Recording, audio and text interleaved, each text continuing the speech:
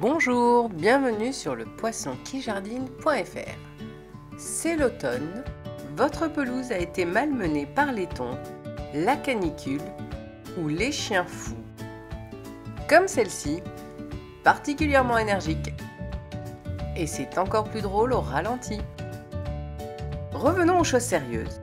La mousse est apparue et des débris de tonte étouffent votre gazon. Notre démousseur, scarificateur et aérateur de gazon est l'outil parfait pour revigorer votre pelouse. Le principe est simple, il vous suffit de manipuler l'aérateur comme ceci.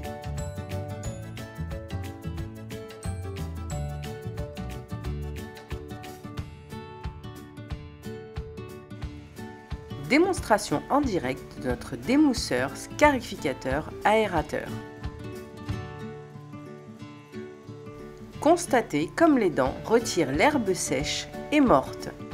Il en va de même pour la mousse, c'est un fonctionnement très simple et très efficace. Vue latérale du fonctionnement de l'aérateur et du chien. Une fois l'utilisation terminée, soulevez à l'aide du manche la herse. Ainsi, vous pourrez ranger votre aérateur de gazon où bon vous semble.